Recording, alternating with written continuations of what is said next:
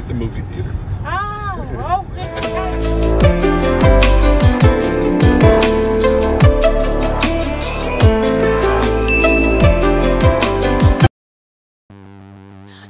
do like to share your opinions talking big like somebody's listening nobody's listening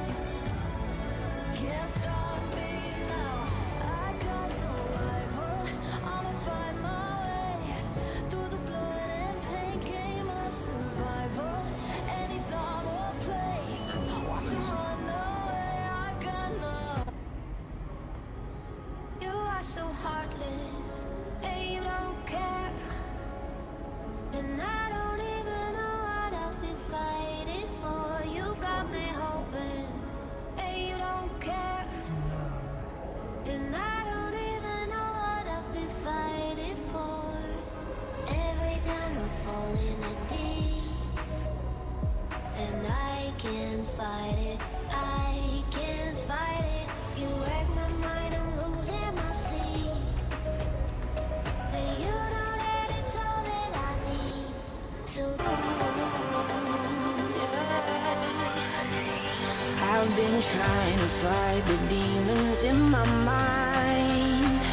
I'll prevail with every battle if I'm right. Guess my aim was off, the target's out of sight.